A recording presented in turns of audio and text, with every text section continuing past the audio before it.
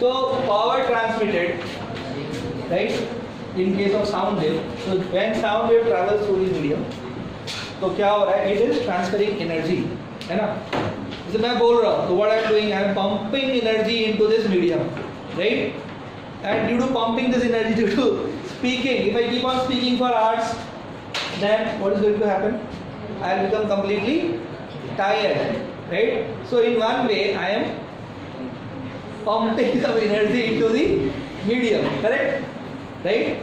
So due to this energy being transmitted in the medium right? This energy is being transmitted at some rate. Now the rate at which i am transmitting energy is not constant. Because i take pause right? Then i speak.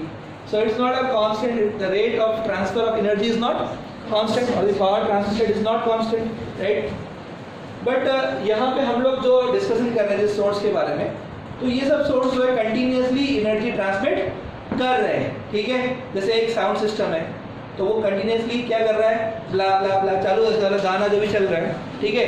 That's on ठीक है? तो यानी continuously power क्या हो रहा है? Media में transmit हो रहा है। Energy is being transmitted at some rate correct that rate may not be constant that rate may be time dependent it may be a function of time तो यहाँ पे जो पावर ट्रांसमिटेड है तो वो क्या होगा? फोर्स इनटू वेलोसिटी फोर्स क्या है? तो जब वेव ट्रैवल करता है एक मीडियम में तो उसकी वजह से क्या होता है? पार्टिकल्स ऑसिलेट करते हैं। और ऑसिलेट करने की वजह से एक रीस्टोरिंग फोर्स डेवलप होता है। तो ये जो एफ़ है, ये रीस्टोरिंग फोर्स है। और वी क्या है?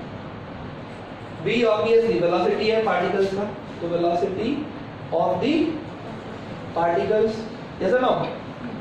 F is the restoring force and v is the velocity of the particles, correct? तो क्योंकि ये जो रीस्टोरिंग फोर्स है किस पे एक्ट करता है?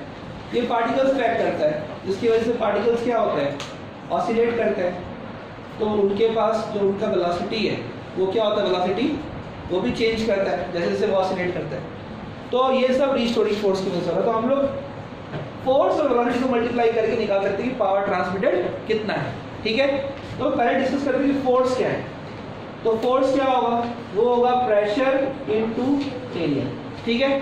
तो किसी भी एक्स पे, यानी किसी भी पोजीशन पे और किसी भी टाइम पे अगर हमें निकालना है कि फोर्स कितना जनरेट हो रहा है तो हमें पहले यहाँ पड़ेगा कि एक्सेस प्रेशर क्या है? उस पॉइंट पे क्या क्या है? क्या क्या है? एक्सेस प्रेशर क्या है? ठीक है? उस पॉइंट पे एक्सेस प्रेशर कितना है? राइट और जो आप एलिमेंट कंसिडर कर रहे हो, उसका क्रॉस सेक्शन एरिया तो ये जो आप देख रहे हो राइट प्रेशर तो प्रेशर क्या होगा? तो प्रेशर का इक्वेशन क्या है? एक्सेस प्रेशर का। P naught cos omega T minus K X ठीक है?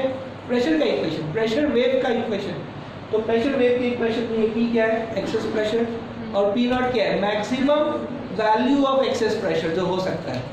ठीक है? जिसको हम लोग पहले क्या लिखते थे? Delta P is equal to delta P naught cos omega T minus K तो ये हो गया आपका P naught cos omega T minus K समझ में इनटू एरिया तो ये तो फोर्स का वैल्यू है, जो हम लोग इस इक्वेशन में डालेंगे।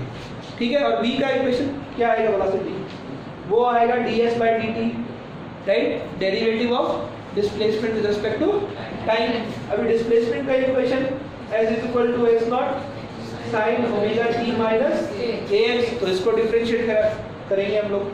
तो कितना आ जाएगा ये?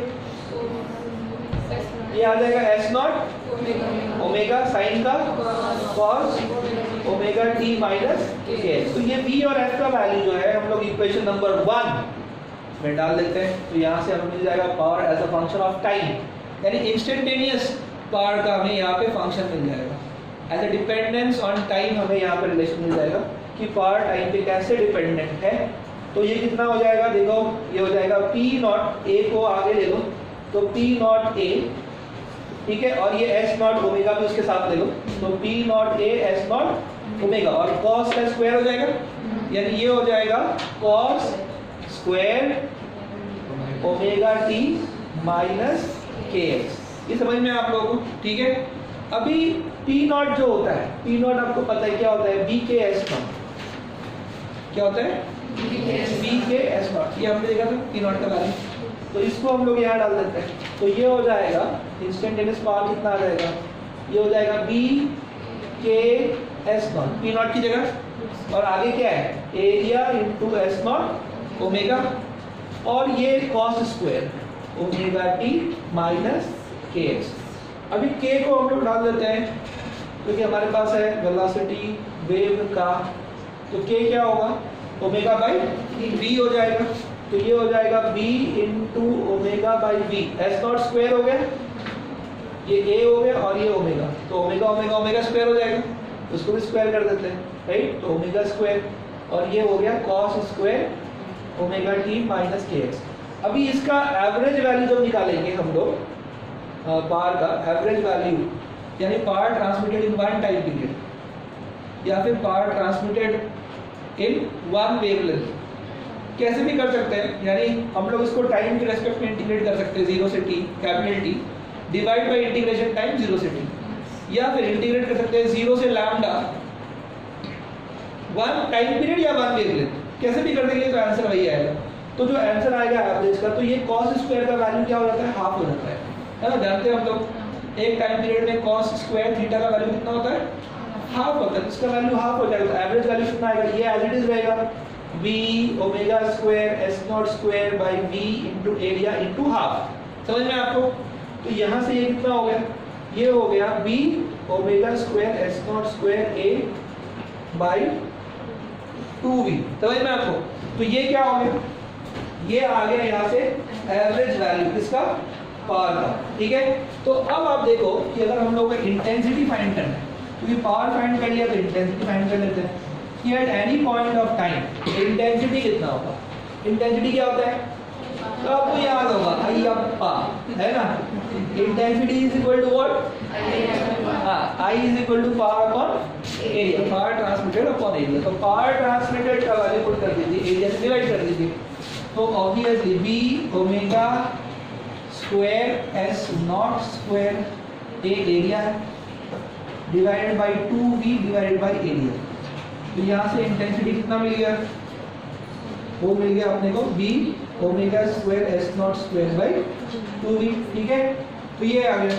अभी इसको अगर हम लोग ऊपर नीचे बी से मल्टीप्लाई कर दे, ठीक है? राइट इसको अगर हम लोग बी से मल्टीप्लाई कर दे राइट करेक्ट और v से भी मल्टीप्लाई कर दे बी से।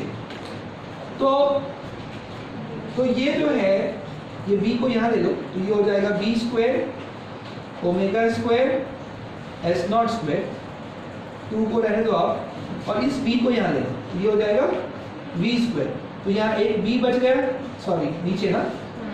और ऊपर बच गया वी तो वी बाई बी ये जो आप देख रहे हो ये क्या है? ये बी के एस नॉट का स्क्वायर है। ये बी के एस नॉट का स्क्वायर है। ये सुनो है कि नहीं? तो उसको हम लोग डाल सकते हैं पी नॉट तो कहने का मतलब ये है कि यहाँ से जो एक्सप्रेशन आया है इंटेंसिटी का तो इंटेंसिटी क्या हो जाएगा? हाफ़ और ये ओमेगा बाई बी होता है के तो ये है B square K square S naught square यानी ये पी नॉट स्क्वायर है। क्या है ये? तो पी नॉट स्क्वायर और नीचे क्या है? तो ऊपर है बी और नीचे है बी तो यहाँ से एक और फॉर्मूला आ गया इंटेंसिटी का। P naught square B by two B P naught square B by two B ये समझ में आ गया आप लोगों को? ठीक है? और इसके बाद अगर हम लोग बल्क मॉडल्स का फॉर्मूला यहाँ पे डाल दें तो हमें एक और फॉर्मूला मिल जाएगा। तो स्पीड ऑफ़ साउंड क्या होता है? Under root B by rho होता है, इसको स्क्वायर कर दो आप तो ये हो जाएगा बी बाई रो बी कितना आ गया? रो बी स्क्वायर आ गया।